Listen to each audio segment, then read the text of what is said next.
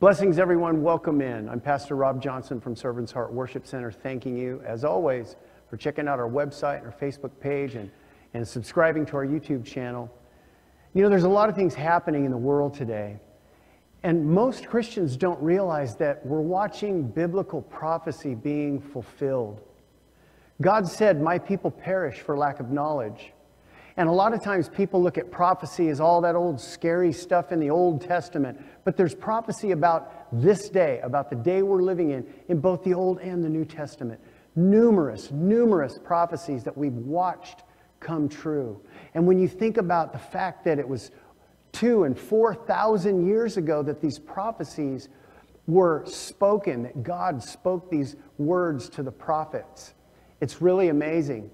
So I hope you're hungry today spiritually because I'd like you to write down these scriptures, learn them, know them, and pass them along. Today is part two from last week's sermon, build uh, called Houseboat. It's about building an ark, a type of spiritual ark in our homes. And today is called Passing Down Prophecy. God bless you.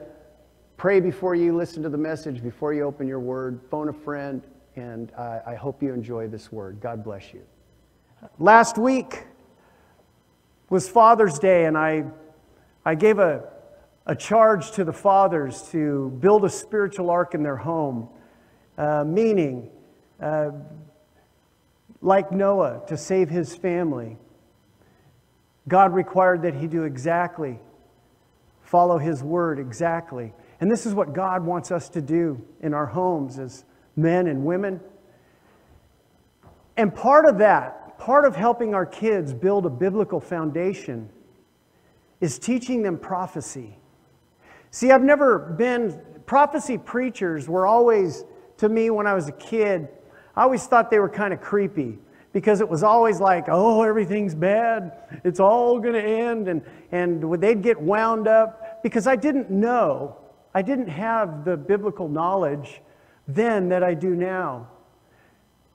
Prophecy in today's world is one of the most important, if not the most important, aside from salvation and the gospel of Jesus Christ, things that we can pass down to our children. Part of building a spiritual ark in our home and passing things down to our kids so they can take and pass it down to their children and on through the generations. Part of that is teaching them the truths, what the Bible says about today's world because throughout the Old Testament and New Testament, numerous, numerous scriptures about today, the times that we are living in right now. God said, My people perish for a lack of knowledge. And the only way that our children are going to get the knowledge is if we pass it down to them. Fathers, mothers, families, churches, if we pass the knowledge down to them, they'll know the signs to look for because it's going to get really dicey in the end times. The world is going to turn so dark spiritually that God says it will be as it was in the days of Noah. So shall it be when the Son of Man returns. Those were dark times, void of God, making God so mad. You see what he puts up with today.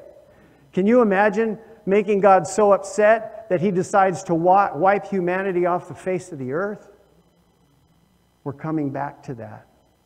We can see the birth pains of it in our societies all over the world. There's a turning away from God. And at the same time, the church has an obligation to show the full Word of God, the truth of God's Word. But so many places today are, are preaching pop, pop psychology and puff pieces because they want to have butts in the seat rather than souls in glory. Excuse my, my being blunt about it, but that's the truth. If we put on a good show and the people feel entertained, we've got everything taken care of in the church. Nobody has to do nothing. We don't have to have people volunteering for ministry. We don't have to have any of this stuff. You just come as you are. And that all sounds great.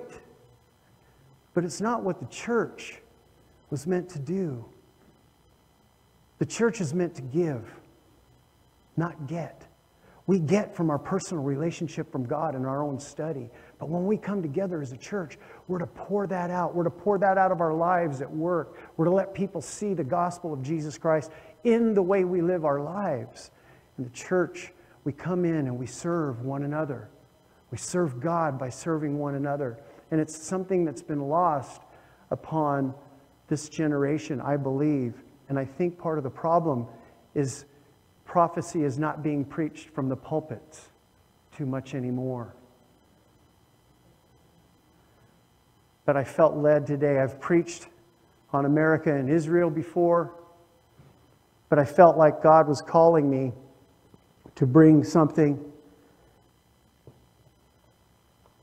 in today's word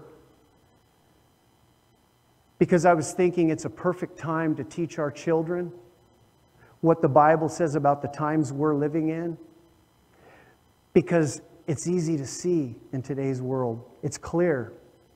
We can watch the news, we can see the headlines and watch the world and the way it's posturing and point directly to Scripture. And when you think about these prophecies, some of them are 2,000 years old, some of them are 4,000 years old, going back to a time way before there were massive cities. Some of these prophecies are, are, are all of these prophecies, Old and New Testament, were at a time when the United States didn't even exist. It wasn't here. Europe hadn't been developed yet. You go back and you think about the dynamic prophecies that came from the Bible about a time to them, they couldn't see it. What are you talking? What cities? What, what, what great kings? What cities are you talking about when you read biblical prophecy? But they saw it in their lifetime. Jesus even said, You've seen prophecy fulfilled. Jesus gave us prophecy for this generation to look at to pass along to our children, as well as Peter and Paul.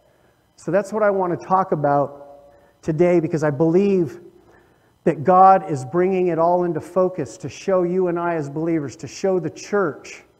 He's bringing it into focus to show the church that we have a greater responsibility than just coming and getting. We have a responsibility to bring, uh, for evangelism, bringing, which is bringing the good news of Jesus Christ to a lost and dying world, leading others to Christ, and discipleship, which is getting ourselves more in tune with God and tightening up our relationship with God and making Him our, the primary focus of our lives, digging deeper, becoming stronger in faith and more knowledgeable in the Scriptures so we can teach our children so they can teach theirs. So let's pray together before we read uh, our scripture this morning. And let's ask the Lord to reveal the truths and to, to bring a face into each of our minds that of somebody in our life that we know is lost, that God may be calling us to take the gospel to. Father, we love you, we praise you, we thank you for your glory. And Father, I thank you for your word. I thank you, Father, for the prophecy contained in your word that point us to the things that will happen. And I pray that today every heart will be opened so we will know what to do in our little corner of the last days. And Father, I pray for churches all over America, all over the world that as we see these things lining up according to your word, that we would point to it and remind people that you are God and that you said these things would come to pass. We love you. We praise you. In Jesus' name. Everybody said? Amen. All right, the first prophecy I want to look at is from the New Testament. It's Peter's prophecy.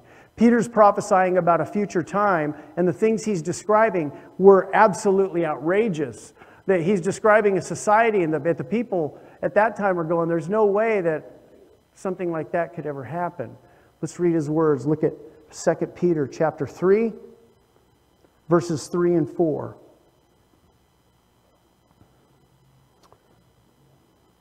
Most importantly, this is Peter writing. I want to remind you that in the last days, scoffers will come, mocking the truth and following their own desires. They will say, What happened to the promise that Jesus is coming again? From before the times of our ancestors, everything has remained the same since the world was first created. Now go down to verses 8 through 14. And this is his charge to us. But you, talking to Christians, but you must not forget this one thing, dear friends. A day is like a thousand years to the Lord, and a thousand years is like a day. The Lord isn't really being slow about his promise, as some people think. No, he's being patient for your sake. He does not want anyone to be destroyed, but wants everyone to, say that word together, repent. But the day of the Lord will come as unexpectedly as a thief. The heavens will pass away with a terrible noise, and the very elements themselves will disappear in fire, and the earth and everything on it will be found to deserve judgment. He's telling us that judgment is coming. Since everything around us is going to be destroyed like this, what holy and godly lives you should live, looking forward to the day of God and hurrying it along. On that day, He will set the heavens on fire, and the elements will melt away in the flames. But we are looking forward to the new heavens and the new earth He has promised. A world filled with God's righteousness. And so, dear friends, while you are waiting for these things to happen, here we go. Here's the charge to us make every effort to be found living peaceful lives that are pure and blameless in His sight. He is saying, in the last days, for all those in the future who are reading these words, He's saying that we should live our lives as though Jesus could come at any moment. I always say, live your life Go after everything that God calls you to go after. The end times isn't a time for, it's not a time for Christians to hide in basements and stock up food. It's a time for us to be out there trying to win souls for Christ. So I always say, go after everything that God want, that God calls you to go after and live your life. But what he's talking about here to Christians is that our lives, the way we live our lives, our conduct should be as though Christ could come at any moment.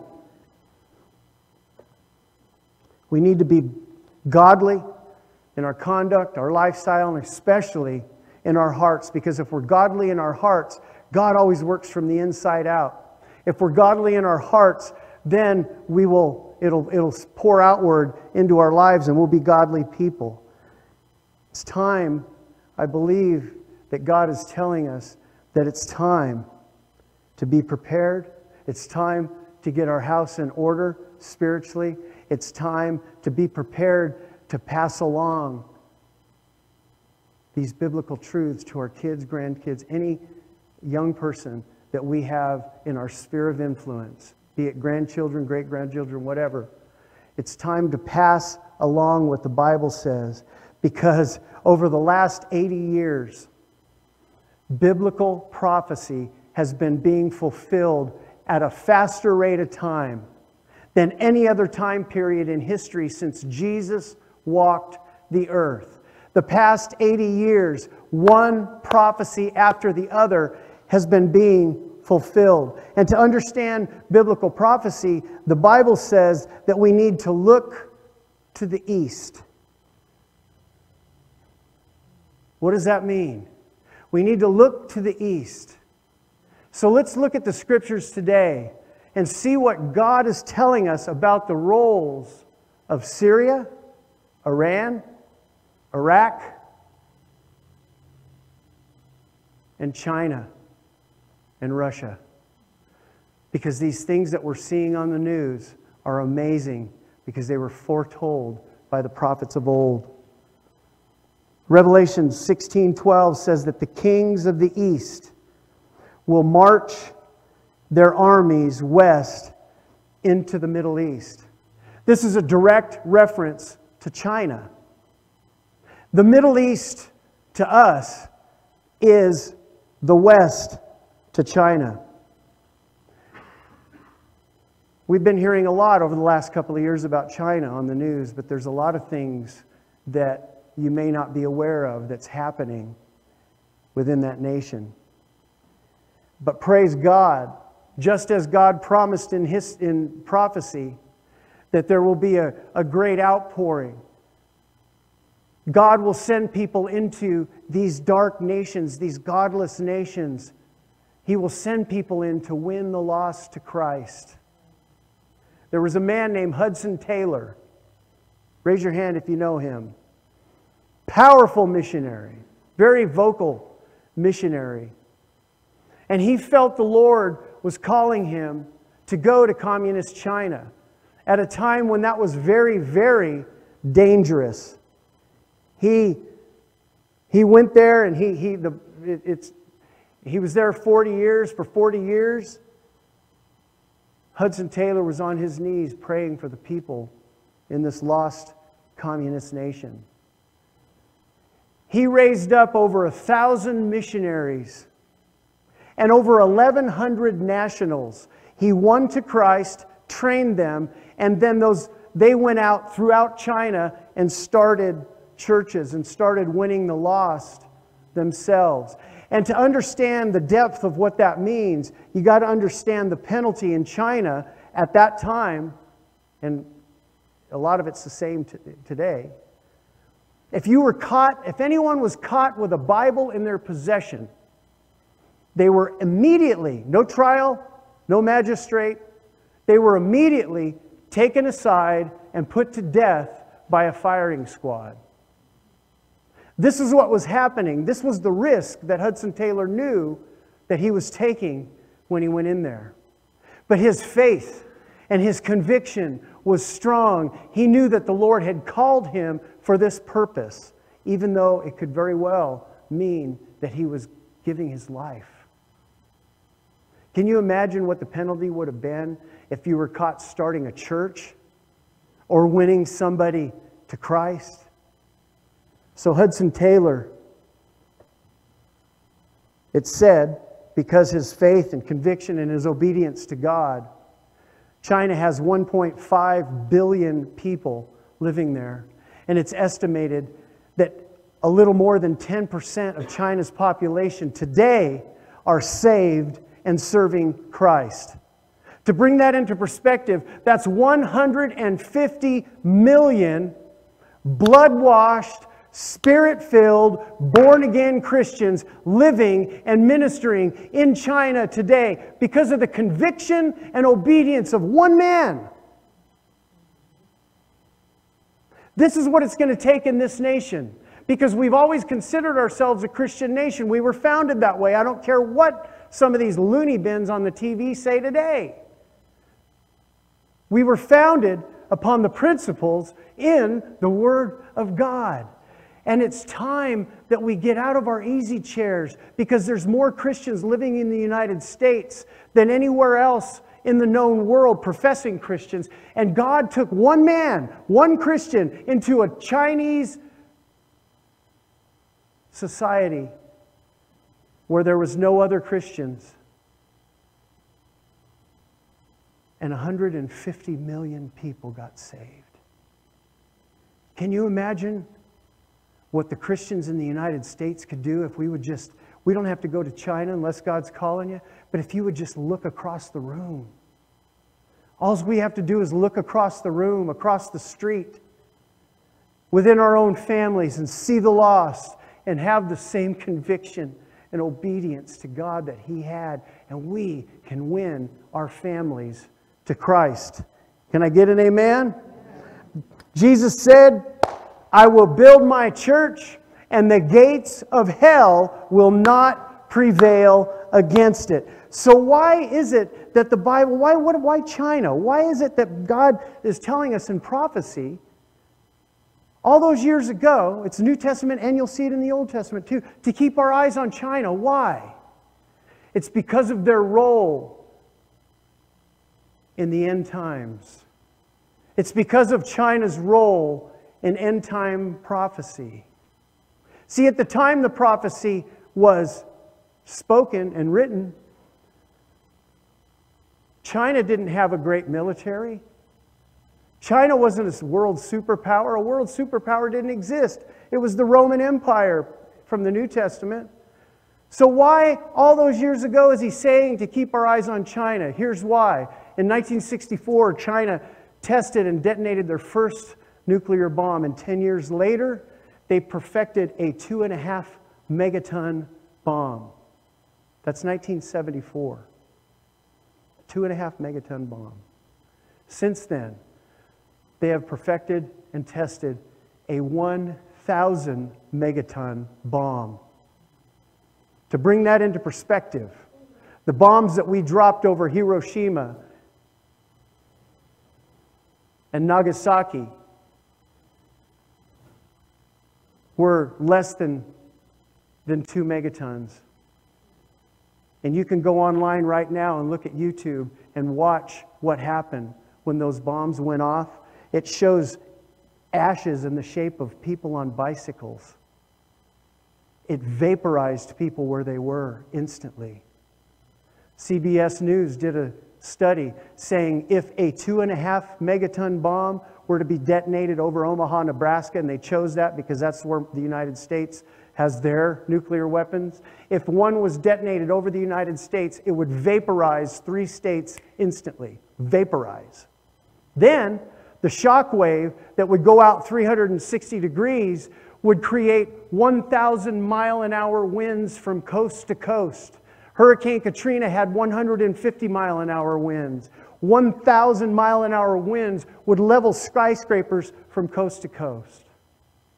These are truly dangerous times because at this moment, as I speak, China has thousands of these bombs in their arsenals.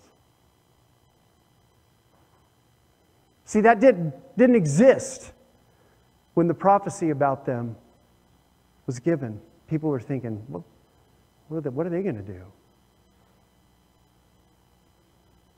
So God is telling us to keep our eyes on China. And today, you can see how they're posturing against Israel. We're going to see more of this. I'm going to hopefully the Holy Spirit will bring it into focus. But this is dangerous. These are dangerous times. These times didn't exist when these prophecies were written. We are living in dangerous times. We are living in the last days. Now let's go back 1,500 years or uh, 800 years to the prophet Zechariah. Could this be a vision that God gave to Zechariah? Could it be that it was nuclear war or something equivalent? I don't know, but let's read Zechariah 14 12. And this shall be the plague which the Lord will strike all the people who fought against Jerusalem. Their flesh shall dissolve while they stand on their feet. Their eyes shall dissolve in their sockets, and their tongues shall dissolve in their mouths. And we've got to realize at the time he wrote this prophecy, the only warfare that existed in his day were horses and chariots, bows and arrows and spears. And he writes of something like this. The people at that time were probably saying, Oh, that'll never happen. But it's happening. That's why this description of what will happen to those who come against Jerusalem is so prophetic. And the enemies of Israel today have that capability. And it's not just China, India, Syria, the United States. We're not an enemy of Israel. We are in partnership with Israel. We better stay that way of a nation as a nation because this prophecy says all those who fight against Jerusalem The enemies of Israel right now have that capability. In the Chinese government run schools, kids are taught three main things. One, hate religion. It's a lie and it poisons people. Two, hate God. God's a lie. Three, hate all Western capitalism because it corrupts. They're taught of a world. These are, this is called indoctrination, and we can see it happening in our nation when they start creating textbooks that go against the Word of God and they're, they're feeding that systematically into our children. That's why I brought the children up at the beginning of this, because we're pouring the Word of God into them. There's a war, a spiritual battle being fought within those children, and they're not even yet to the age of accountability. And they're being indoctrinated. The kids in China from preschool through college are taught these three main principles, and they're taught of a future war that'll be fought in the Middle East, where China will be the victor and repopulate the earth and create a new world order, a government where socialism and communism rule. A lot of Bible scholars believe that the red horse mentioned in the book of Revelation is speaking directly to China. Look at Revelation 16:12. Look at this. This prophecy is astonishing.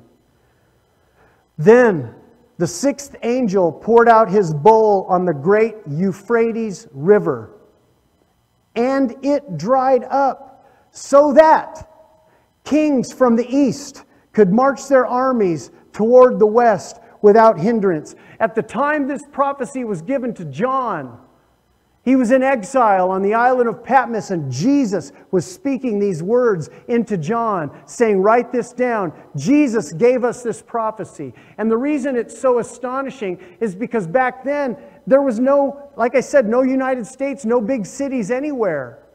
There were small cities. What they considered a big city, we would seem like it would be more like a village or something like that. But at the time, Jesus gave this prophecy to John, this would seem far fetched.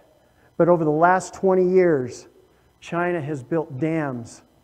They've joined with Turkey, the, the nation, not, you know, gobble gobble. They've joined with the nation of Turkey and Syria.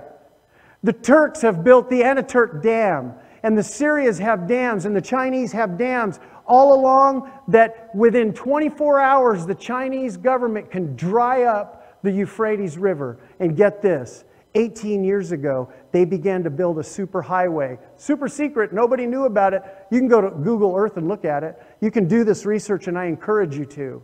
Because they've, the Chinese government have built an eight lane superhighway that leads directly in to the Middle East along the Euphrates River. And this prophecy is coming to pass. The enemies of Israel right now have the capability to dry up the Euphrates River because, in order to invade the Middle East, that area is impassable by land, but now they've able, they're able to dry up the river and they've created a superhighway to make it happen so they can dry up the river in Euphrates in 24 hours, and their 280 million man army can march straight in to the Middle East. Chinese has more people in their army than we have living in the United States. They have more people in their army if they march their 280 million man army into the Middle East, into the tiniest nation of Israel, the tiniest, most vulnerable nation in the Middle East. Can you imagine? This is what Jesus said would happen, and we're watching it today. We are in the end times. I'm not trying to scare people. I'm not one to, uh, I'm a prophecy watcher. I'm a prophecy studier. But I've got to preach this message. I know I don't want it to sound like some sort of a lecture, but I'm telling you, you got to hear this. You need to know this. We need to pass this along because it's happening before our very eyes. Can you see how on point the prophecy in Revelation is? And it goes on to say that the kings of the earth will join with the Chinese, with the kings of the east, and wage war against Israel. So you can watch the news and watch China, Syria, Iran, Iraq, and watch how they're posturing themselves, and Russia, and watch how they're posturing themselves against Israel. They are the kings of the east mentioned in prophecy. Write down Ezekiel 38, chapter 38, and chapter 39. You can read it at home, but it mentions the other nations that are going to come into Israel from the north. That's Russia. And I want to say, God's not against any of the people in these nations. God's sending men like Hubs and women like Hudson Taylor into these places, missionaries who say, I don't know why, I'm, I, I feel like I got to quit my job as an architect or whatever and go into ministry. And the families of these people are saying, You're crazy, you're crazy. But when God's calling you to do something and you know it in your heart, You've got to do it, even if it means you lose some friends, even if it means you get called a cuckoo once in a while. You've got to follow where God is taking you because right now God is leading Christian men and women into these lost nations that are mentioned in prophecy for the purpose of a harvest to lead them to Christ. That's why I brought up Hudson Taylor. So God's not against any of the people in these nations. He's talking about the wicked kings and governments that are posturing and that are going to come against Israel. Now look at Ezekiel's prophecy in Ezekiel 38. Let's read 1 through 5. Now the word of the Lord came to me, saying, Son of man, set your face against. In other words, keep your eye out for. Set your face against Gog of the land of Magog, the prince of Rosh, which is Russia, Meshech and Tubal, and prophesy against him, and say, Thus saith the Lord, Behold, I am against you, O Gog, the prince of Rosh, Meshech and Tubal. I will turn you around put hooks in your jaws, and lead you out with all your army, horses, and horsemen, all splendidly clothed, a great company with bucklers and shields, all of them handling swords. Persia, Ethiopia, and Libya are with them. See, God's calling them out by name. All of them with shield and helmet. Look at these nations God mentions by name in verse 4. Persia, ancient Persia is Iran and Iraq. And we know that the Ayatollah of Iran is constantly chanting death to America and death to Israel. Their Iran's president a few years ago, what's his name? Ahmed Madinejad or whatever. Anyway, Madinejad or whatever. He, Ahmed, whatever his name is, the president of Iran, came to the United States. He went into the United Nations Hall and he stood at the podium and he said that Iran's main goal was to drive Israel into the sea and to wipe them off the face of the earth. He said it publicly, he said it in front of all the world's governments. So we know that Iran wants no more, nothing more than to see Israel wiped from the face of the earth. That's why I'm so glad that our president, think of him what you will. I'm not being political here, but I am so glad that our president stood up and got rid of that on your honor deal we had with Iran because that deal gave them an open door, unrestricted, to begin to develop the same type of weapons China has the same 1,000 megaton bombs. They were on the path. The previous administration said, okay, go for it, and they, they were going to do it. And we stopped it. Praise the Lord. It seems crazy, but all of this is prophesied in your Bible. We can see God aligning it to happen exactly as He said it was going to happen back at a time when the, like I said, when this place didn't even exist. Europe hadn't even been developed. And God's bringing it all in exactly how He said it would be. Excuse me. And I believe the reason that all these nations want to invade Israel and take control of the Middle East? Because right now, Israel is the smallest, tiniest, most vulnerable nation, but it's got the most powerful army in the Middle East. And the reason that all these nations want to surround them and gather up on them, look at Ezekiel 38:10. This is what the sovereign Lord says. At that time, he's talking about now. He's talking about in the future, and we're living it. At that time, meaning today, evil thoughts will come to your mind and you will devise a wicked scheme. You will say, Israel is an unprotected land filled with unwalled villages. I will march against her and destroy these people who live in such confidence. So, what's the reason for their evil thoughts and their wicked schemes? Look at verse 12. To take a spoil and to take a prey. If you take SP away from spoil, you get oil. Could be because it lines up. To take a prey, spoil, take a prey. To turn thy hand upon the desolate places that are now inhabited, and upon the people that are gathered out of the nations, which have gotten cattle and goods, which is trade, that dwell in the midst of the land. Japan gets 100% of their oil from the Middle East. 85% of the oil in all the European nations come from the Middle East. Used to be 80% of ours, but thank you again, Lord, for a president who put a stop to that. Because five years ago, 80% of our oil came from the Middle East. Now, none of it does. But Russia gets about 80% of their oil from the Middle East.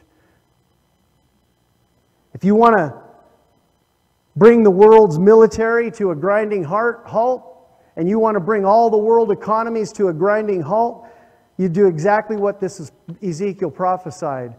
It would start by thinking an evil thought, then getting with other people that are like minded and plotting, other schemers, and plotting a wicked scheme against the most powerful yet vulnerable country on earth in the Middle East, which is Israel. And you'd organize to devise a plan to conquer and take over Israel. A, get control of the most powerful military force in the Middle East, which is Israel. Then use that force to take the spoil, to take the prey.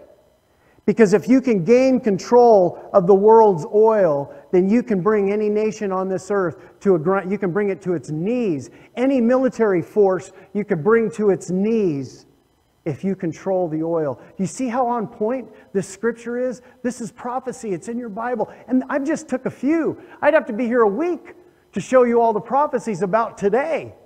They're astonishing.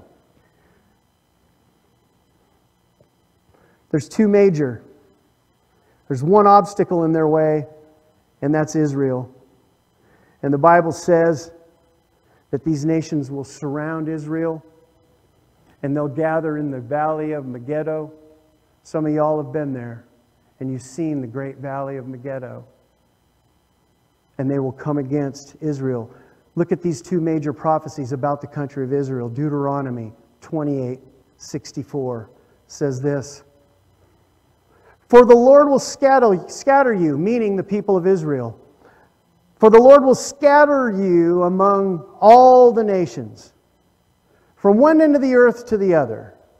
There you will worship foreign gods that neither you nor your ancestors have known, gods made of wood and stone. So God is prophesying that someday this, these people, his people, the children of Israel, his nation, would be scattered, taken off of their own land, and scattered all over the world. And they would begin to take on other uh, cultures and other gods, and they would begin to blend into societies from one end of the earth to the other. So God's saying, My people are going to be scattered. The Jews are going to be scattered all over the world. They're going to lose their place on the map, they're going to lose their physical location, their nation, and they're going to be scattered to the winds. 70 years after Jesus ascended into heaven, Titus took his Roman army and he conquered, leveled the city of Jerusalem. And at that time, the people fled. A lot of them were taken captive, put in the slave trade, the human trafficking belt, and they were sent to all parts of the earth. Even though the people existed, they no longer existed in one place as a nation. So the prophecy was fulfilled. They were scattered. Centuries later, Adolf Hitler comes along. Some of y'all were alive when he was alive. Adolf Hitler comes along and he goes all through Europe and he gathers up as many Jews as he can and he kills them. He exterminates them, killing over six million Jews, only counting men. That didn't include the women and the children. Some people say it was up to 13 million Jews were exterminated by Adolf Hitler. And I believe that when the Lord took the prophet Ezekiel into the valley of dry bones, you remember that story? And he asked Ezekiel, Son of man, can these bones live again? Ezekiel said, Only you know, Lord. But if you look at the word valley, I challenge you. Look at that story. Research the word valley in that context, in that specific context. And it means in Hebrew a great ditch. And if you remember the films from World War II, when they exterminated these Jews, they would dig ditches and they would just bulldoze the bodies into these great ditches. And thousands of years before, God said to Ezekiel, Ezekiel, you see these valleys, these ditches full of dead bones? Can they live again? And Ezekiel said, Only you know. God was talking about the Jewish people, he was talking about the Israelites in that scripture.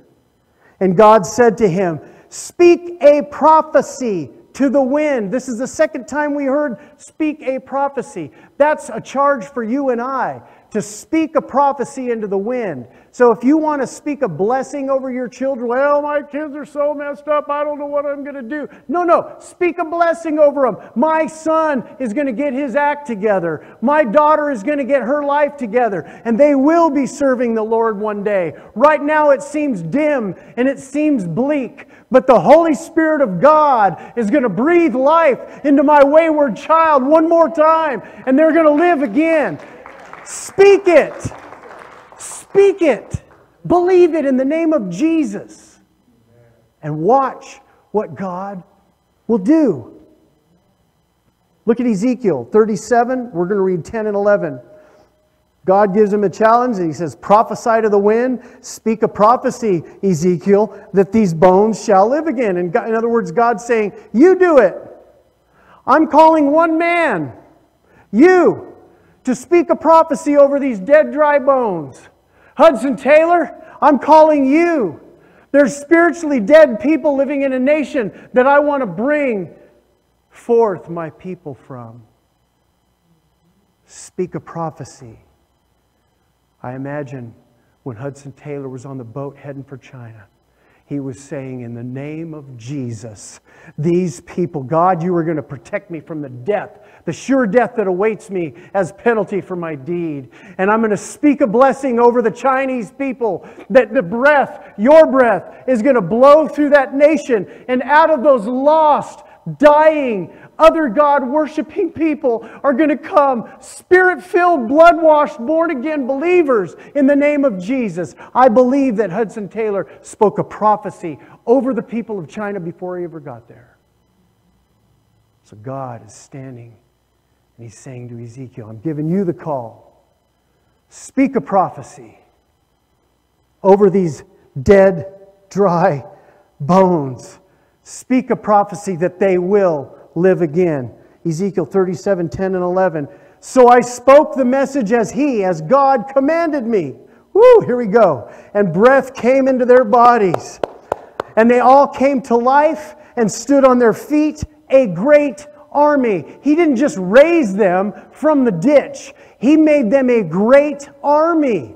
God always goes a step farther. So you when we're speaking a prophecy over our children, we're saying, Lord, I speak a blessing over them that they will know you the way that you designed and created them to know you. When you speak that blessing, don't just say that. Say that they will walk into what was prophesied over them, that they will become pastors and teachers and worship leaders, not just Christians willing and able to sit on the pew in a comfort zone, but that they will be believers that are beyond what we know today. Build up my lost son and make him a minister, a pastor, an evangelist for the people of the end times. This is what we need to do with our lost loved ones. God is telling us right now speak a prophecy over them. So Ezekiel did. They stood upon their feet, a great army. 11. Then he said to me, Son of man, these bones represent the people of Israel. They are saying, We have become old, dry bones. All hope is gone. Our nation is finished. But when he spoke the prophecy over him, the Bible says he listened. He spoke the prophecy. And from the valley, he heard a noise and it was the bones beginning to rattle, and the earth beginning to quake, and the earth beginning to open up. And these bones began, they were all scattered and mixed together, and they began finding their way to their corresponding bone, bone on bone. And then the Bible says that sinews, muscle began to grow, and skin began to grow, and blood began to pump in their life. And they not only lived, they rose to become a great army again. The people of Israel by, in 1942 were all but dead. The majority of Jews had either exiled and were worshiping other gods and didn't even know the story of their history, and the others were being exterminated by a 20th century madman. These bones in this scripture represent the nation of Israel. And that's exactly what God did in 1948. By 1948, it looked like all hope was gone. They were scattered among the worlds just as God had said, and they were reduced in numbers by millions.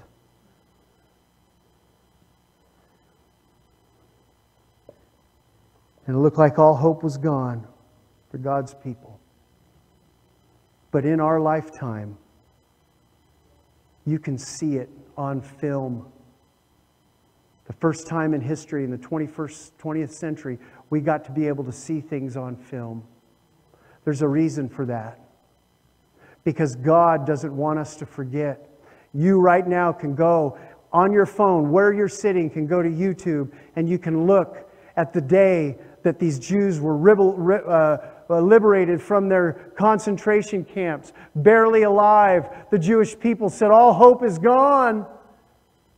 But God took them from that to look at them today. I was so proud of our president when he stood in Jerusalem and said, This shall be recognized by us as the capital of Israel. So the first, the first prophecy was that they'd be scattered. Here's the second. Look at Amos 9, 14, and 15. And we, these are two prophecies that are thousands of years old that we get to see on film. the first one is they be scattered. Here's the second. Amos 9, 14, and 15 says, I will bring my exiled people of Israel back from distant lands, and they will rebuild their ruined cities and live in them again. They will plant vineyards and gardens. They will eat their crops, drink their wine. I will firmly plant them in their own land. And here's my favorite part underline this in your Bible. They will never again be uprooted from the land that I have given them. So, if you're a leader in this world today, uh, this little preacher in Tennessee, I want to tell you, you guys need to look at this prophecy because God says that they shall never, ever again be taken from their land. This is the prophecy that the leaders of China, Syria, Russia, Iran, Iraq need to read carefully because their lives are on the line, not God's people's lives. Amen? They will never again be uprooted from the land I have given them, says the Lord your God. Hallelujah. This is the oldest real estate contract in history. Amen? And because we can see it happening, we can see it coming to pass. When I was a kid, nobody ever told me that what I was watching in those old newsreels was prophecy.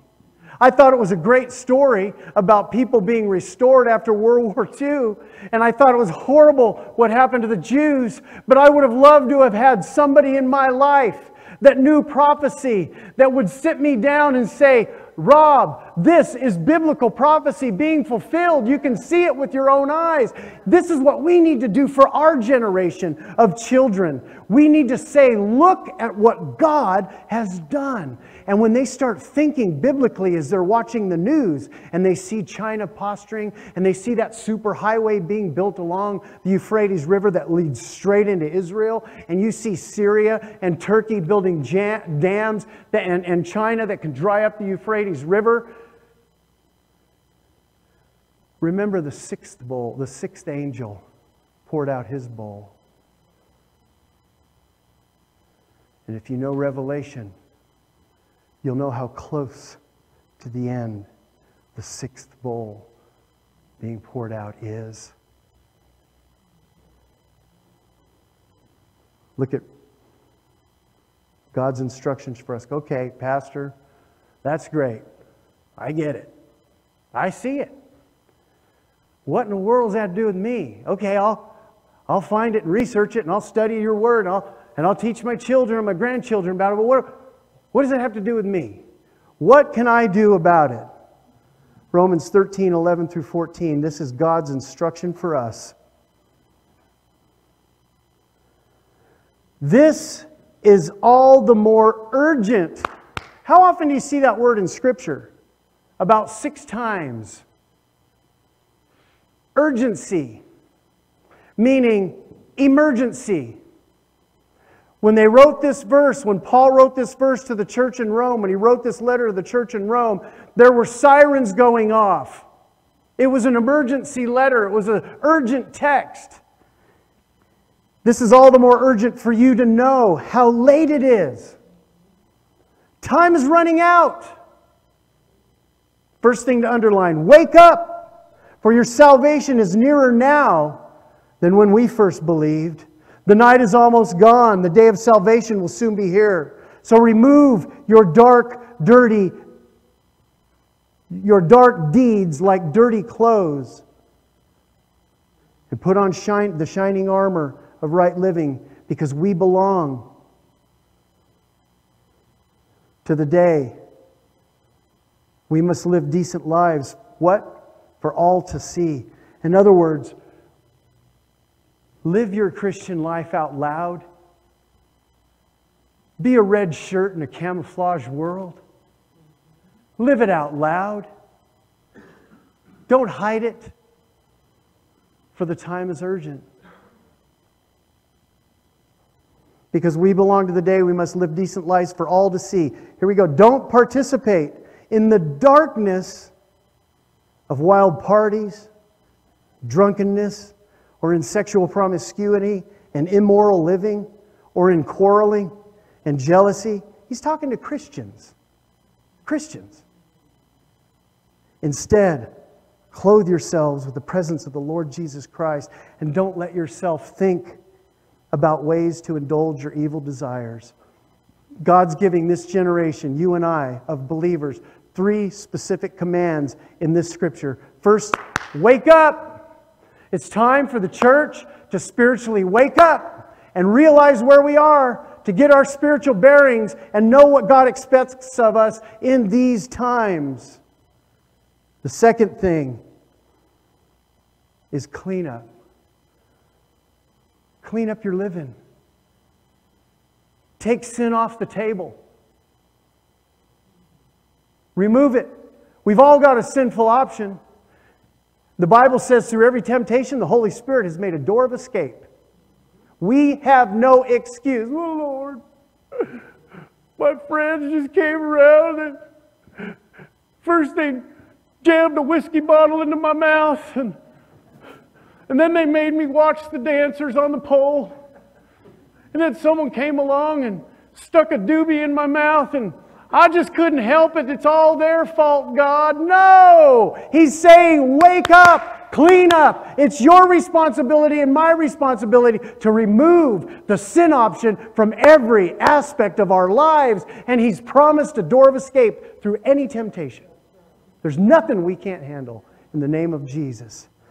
The third thing in this verse, He's commanding the church is to look up. The Bible says, Lift up your heads, for redemption draweth nigh. Our time is at hand. We are living in the last days, like it or not. It's not time to fluff up the church. It's not time to present pop psychology and easy believism. The time is to open the Word, review the prophecy, Stick to the word. Don't omit it because you have gay people in your life that it'll offend. Don't omit it because you have drunkards and potheads and sexually promiscu- promiscuous people in your life. Do not admit it. I mean, omit it. Do not admit it. See, that's what the devil wants you to not do. Do not omit telling the truth of God's word. Wake up clean up, look up. Because our time is here. One last prophecy about today as we stand.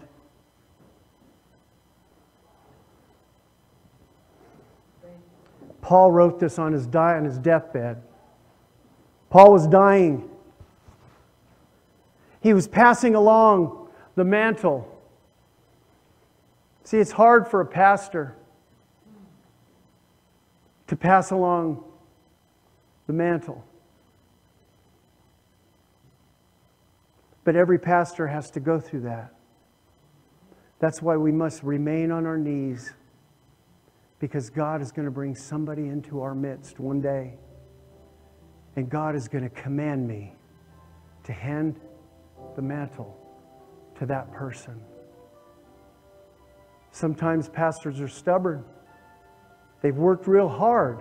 They don't even feel like they got the momentum that they feel they deserve, and yet God says it's time. That's why we need to put away our prideful thoughts. What's in it for me? And we need to say, God, thy will, not my will. This is where Paul was. And he writes to Timothy, he's passing the mantle to his young protege. 2 Timothy 3 1 through 5. You should know this, Timothy, that in the last days, he's talking about today. And why is he telling him? Because the Lord wasn't going to come in Timothy's day. He's telling Timothy so Timothy could pass it on to the next one, to the next one, to the next one. And here we are today, 2,000 years later, reading the Word of God that somebody cared enough to pass along through the generations. That's again why I call on fathers. That in the last days, there will be very difficult times for people will love only themselves and their money. See, this kind of society did not exist in that day. They will only love themselves and their money. They will be boastful and proud, scoffing at God, disobedient to their parents. Even that was like, no way. And ungrateful. They will consider nothing sacred. Hmm. Have you been watching the news the last three months? They will be unloving and unforgiving. They will slander others and have no self control. They will be cruel. They will hate what is good. They will betray their friends. They will be reckless and puff up with pride and love pleasure rather than God. They will act religious, but they will, here we go, underline this, they will reject the power that could make them godly. Stay away from people like that. He's talking about the Holy Spirit. When Jesus talks about the Laodicean church, it's a church that has a form of godliness. They gather, they sing, they pray, they worship. But they deny the power, the only power that can make them godly, which is the power of the Holy Spirit of God. Any church who refuses to talk about the Holy Spirit because they say, oh, that Holy Spirit stuff's old fashioned and it's off putting to people. Pray for those churches because they're sending their people to hell. Because if we don't teach it in the church, how are they going to know? That it takes the Holy Spirit of God in our lives to give us the power to become godly in His sight. We can act godly all day long. That's easy. We got that down.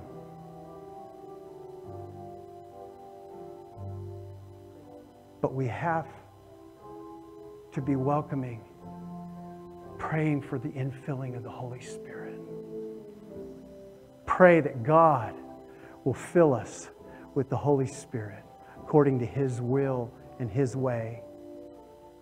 If you'd like to support this church, this ministry, you want to honor the Lord with the worship of tithe and offering, you can go to servantsheartworshipcenter.com you can do it online. You can click the donate tab at the top of the home page, then go down and click the yellow donate button. Type in the amount you want to donate, then either click the PayPal and use your PayPal account or the debit and credit card button and follow the instructions from there. Or if you'd like to send in a check, you could send uh, your tithe and, and offering to Servant's Heart Worship Center at P.O. Box 1859. Spring Hill, Tennessee 37174. I love you all so much. God bless you.